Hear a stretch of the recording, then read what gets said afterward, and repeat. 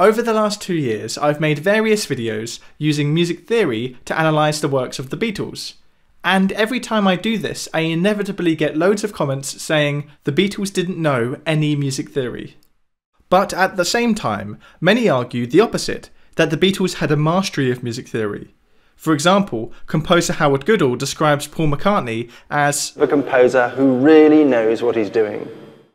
Now, whether or not it's actually relevant if the composer did or didn't know music theory when you're analysing a piece of music is a completely different question. The thing I want to look at today is how true is that statement? Did the Beatles know music theory? Over the last few weeks, I've been looking at countless interviews, biographies, and even live footage of the band playing to try and get a better idea of how much theory the Beatles really knew. Let's start by addressing the fact that the Beatles didn't know how to read or write sheet music. I don't read music or write music. None of us did in the Beatles. We did some good stuff though, but none of it was written down by us. It's basically notation. That's the bit I can't do because I don't see music like that. So the Beatles didn't read or write sheet music, so surely they didn't understand music theory? Well, no. Reading sheet music is only part of what it means to understand music theory. Even if you don't write your music down as traditional sheet music, music theory can still be at the core of how you learn, write, arrange, and perform music. So, what did and didn't the Beatles know about theory? Well, let's start with some of the most basic concepts of music theory. For example, did the Beatles know how to count beats and bars? Well, one piece of evidence that may help us answer this question is the way that Paul counts in All My Loving.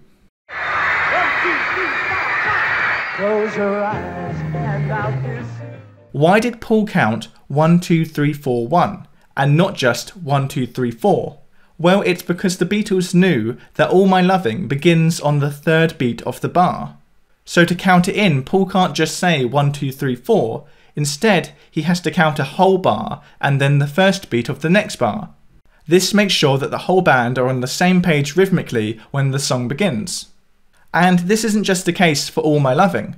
Anytime the Beatles count a song in, they take into consideration what beat the song begins on. One, two. One, two, three. Also, in interviews, the Beatles often talk about their music in terms of beats and bars. When the Beatles were recording A Day in the Life, they were yet to come up with an idea for the 24 bar section in the middle. They decided to temporarily fill the gap with a 24 bar count. We'll count it, we'll just do our song, and we'll leave 24 bars. So the Beatles were aware of bars and beats. But what about something slightly more advanced? What about time signatures? Did the Beatles know about time signatures?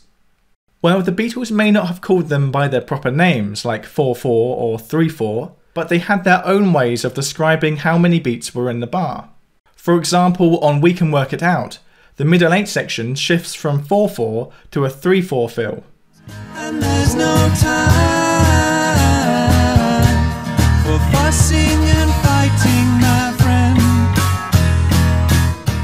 although Paul doesn't describe this as 3 4 or triplets, he does describe it as waltz time. Then it was George Harrison's idea to put the middle eight into waltz time, like a German waltz. When it comes to more advanced time signatures, though, it seems that whereas a trained musician might count out the beats in a bar closely to make sure they stayed in time, Ringo at least had to rely instead on feel and intuition. For example, Here Comes the Sun features many different time signatures, but as you can see from this interview, Ringo preferred to feel the timing rather than to count it out. He comes into me because he'd been to India again, I think. He said, Oh, I've got this song, it's like seven and a half time. Yeah, so. You know, he might as well have talked to me in Arabic, you know what I mean? uh, and that's how I come off. I had to find some way uh, that I could physically do it and do it every time so it came off on the time. I had no way of going, yeah, one, two, three, four, five, six, seven. It's not my brain. So as long as I go, okay, that's seven. Good, got it. So we've looked at rhythm, but how much did the Beatles know about chords? Well, it seems pretty evident that George, Paul, and John all knew the standard major, minor, and seven chords on guitar. It appears that they gained their education in guitar chords from various sources in their childhood. For example, Paul tells this great story about how they travelled across Liverpool on a bus just to learn about the chord B7. In fact, you know, sometimes we'd travel the whole of Liverpool just to go to someone who knew a chord we didn't know. Um, remember once hearing about a bloke who knew B7. Now we knew E and we knew A. It was quite easy, but we didn't knew B7. We didn't know B7. That was kind of the missing part of the link, the other chord, the lost chord. So on we got on the bus, trooped across Liverpool, changed a couple of buses, found this fella, and he showed us dum, dum, dum, dum, dum, B7. We learned it off him, got back on the bus, went home to our mates, and went Zing! Got it. George Harrison perhaps had the best knowledge of guitar chords. After all, John claimed that they asked George to join the band because he knew more chords than we knew. In this quote, George describes when he discovered how inversions work. I remember discovering inversions. Suddenly I realised how all the shapes transform up the neck, all with the same chords inverted higher and higher. But what about some slightly more advanced chords, like 6, 9, and 11? She Loves You ends with a G6 chord, sang between the vocal harmonies.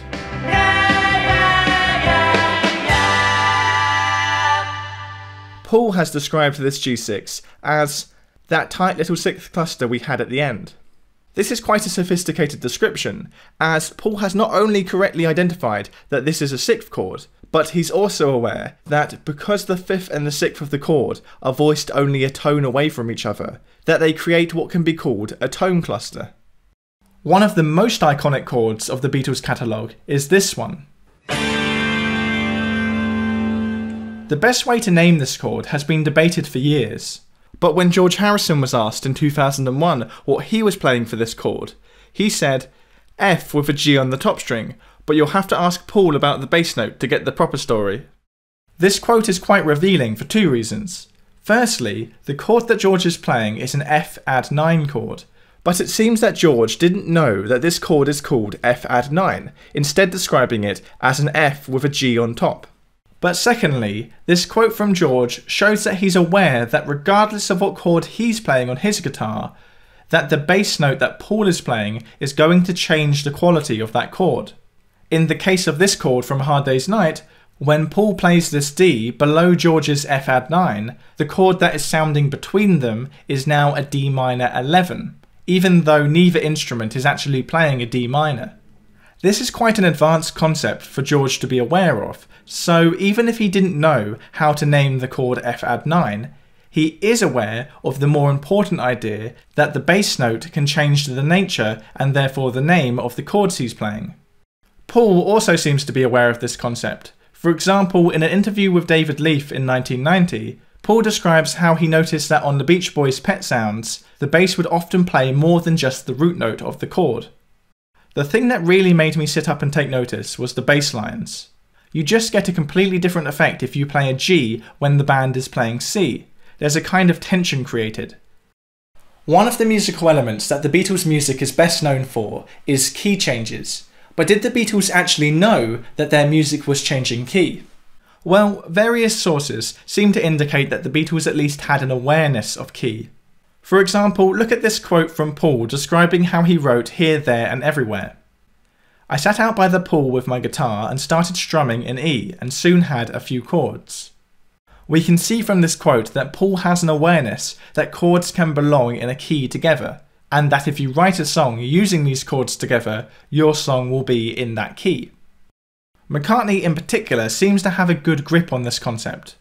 When he described the writing process of Michelle, he said it started as an instrumental in C. And likewise, when asked how the Beatles constructed the Abbey Road medley, Paul described the challenge of fitting the different segments together due to the fact that they were in different keys.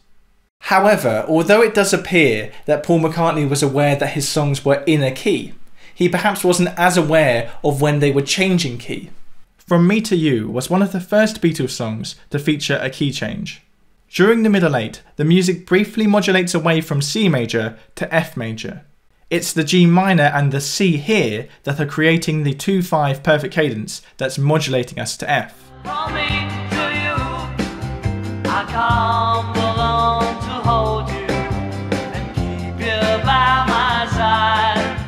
Although Paul doesn't describe this as changing key, he knew that this G minor and this C were taking us to somewhere new harmonically. That middle eight was a real big departure for us.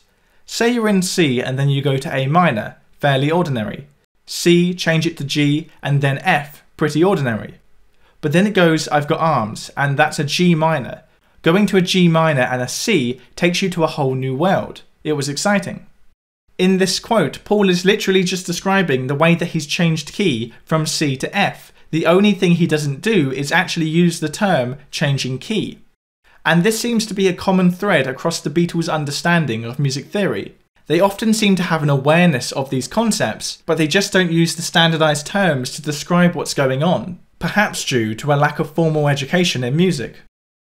It seems George Harrison was perhaps more aware of when songs were changing key, for example, in this quote, George is describing the challenge of fitting Indian instrumentation onto a song like Lucy in the Sky with Diamonds, due to the fact that Lucy in the Sky modulates.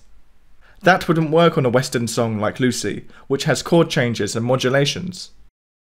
What about something more advanced like modes? I've actually made a video before about how the Beatles songs use modes, but were the Beatles themselves actually aware that they were using these modes at the time? I'll Get You, which was the B side of She Loves You, features a brief bit of Mixolydian modal interchange. In other words, this A minor chord briefly shifts us to the Mixolydian mode.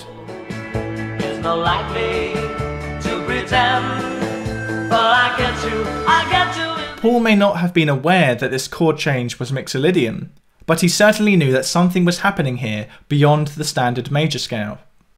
It's like D that goes to A minor, which is unusual, You'd normally go from D to A major. It's a change that had always fascinated me, so I put it in. I'm not saying that this is evidence that Paul McCartney understands modes, but this does show that Paul knew that this chord change introduced something different and interesting to the tonality of the song. And although he didn't have a name for it, he could hear the modal interchange at play. It appears out of the four Beatles, it was perhaps Paul McCartney who had the best knowledge of music theory. McCartney was seemingly aware of many basic music theory concepts and terms, such as scales, semitones, and arpeggios. When discussing how he wrote Lady Madonna, Paul describes his left hand as playing an arpeggio with the chord. And when discussing the riff at the beginning of Please Please Me, which climbs down the major scale,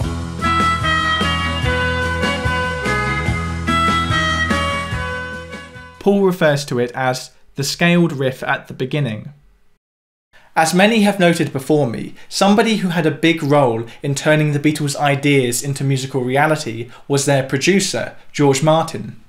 George Martin was well versed in music theory, having studied at Guildhall School of Music, and his knowledge and skills often served to plug the gaps in the Beatles' own musical knowledge.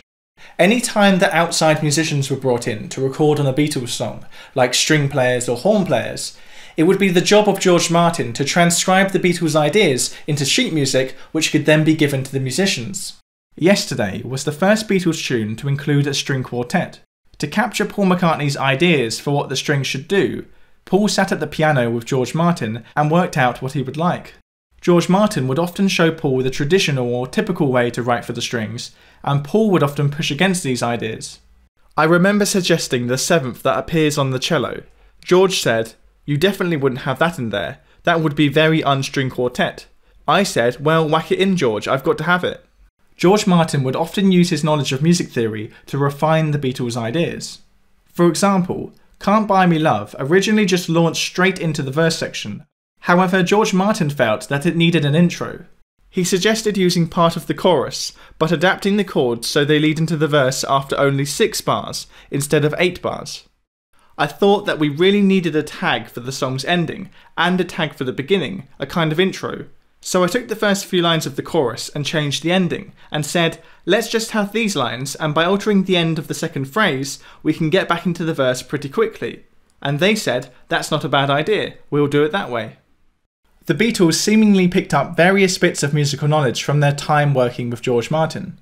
For example, in this clip, Paul describes how George Martin suggested increasing the tempo of Please Please Me, but the Beatles weren't actually sure what tempo meant. George Martin said, Can we uh, ch- change the tempo? We said, What's that? He said, Do it faster. Oh, oh. well, we don't. He said, Let me, let me try it, please. Last night he said, he said, It's good. Oh, said, oh, it's all right. Yeah, it's all right. Not bad. A bit embarrassed that he'd found a better tempo than we had. In this interview with John, he describes George Martin's role as a musical advisor. He had a very great musical knowledge and background. So he could translate for us and suggest a lot of things. Which, well, we'd be saying, well, can we, we only go ooh and, and e, e, and he'd say, well, look, chaps, I thought of this this afternoon. Last night I was thinking, I was talking to to, uh, whoever he was talking, and I came up with this, you know, and we'd say, oh, great, great, we'll put it on here, you know. Yeah. I mean, he taught us a lot, and I'm sure we taught him a lot by our, our sort of n- primitive musical ability, which is all I have still. You know, I still have to have something to translate what I'm trying to say all the time. So, looking at all of this evidence, what can we conclude? How much music theory did the Beatles know? Well, John summed it up quite well in that last clip when he said, You know, I still have to have something to translate what I'm trying to say all the time. One of music theory's best uses is as a language, a set of terms and concepts that let musicians communicate with each other about what they're hearing. And it was this aspect of music theory that the Beatles seemed to lack. The band certainly had a basic understanding of the fundamental ideas of music theory key, chords, rhythm but they lacked confidence with the correct terms and descriptions for the different musical concepts they were hearing, meaning that they couldn't use music theory as a language. This is why George Martin was the perfect galvanizer for the Beatles. He could be the one to translate what the Beatles wanted to hear from their music, meaning that they were never held back by what they did or didn't know about music theory. And going back to something that I touched on at the beginning, many people claim that because the Beatles didn't know theory in great depth, that analysing their music using theory is arbitrary and is looking for meaning which isn't there, looking for intent that wasn't there. But that's missing the point of why we analyse songs. One of the many things that music theory is useful for is as a set of tools to look under the hood in our favourite songs. If you want to get an idea of what makes your favourite Beatles song sound the way it does and why your music doesn't sound like that, the best way to do that is to look at the chords they used, look at the tonality, look at the rhythm, look at the time signature. They're the sort of things that will give you the ideas that will make your music sound closer to their music. I've heard time and time again that music theory is just a set of rules or music theory limits creativity. But this couldn't be further from the truth. And if you think like that, then you probably haven't been taught theory in a very constructive way. Even if you don't realize it, if you don't know music theory and don't know how to use it, then your songwriting and your musicianship is probably stuck in a box. You're probably playing the same old chords in the same old way all the time. And every song you write is probably just a variation on the same four chords. But if you can know how to break out of that, how to know what chords you're using and how you could vary them, if you can learn how to change the time signature you're using or change the mode, then it opens up a whole world of possibilities. And by no means do you have to do it the right way. There is no right way. That's not what music theory is about. Music theory is just a way of describing what is there to be used. And a massive thank you, as always, goes to everybody who supports me on Patreon. You really do make all of the difference, particularly during these difficult times. And I hope you don't mind, but I thought today, instead of me reading out the shoutouts, that we could listen to this bit of Beatle banter that I found during my research. Was wrong. Oh, I'm so sorry. I feel so stupid. I don't know what to do. Gosh. Look, Terence. What if you it? want to resign from the amateur dramatics, do. It's not that. I put a lot of money and thought into the whole thing. Yeah, but let's face it, you're crap.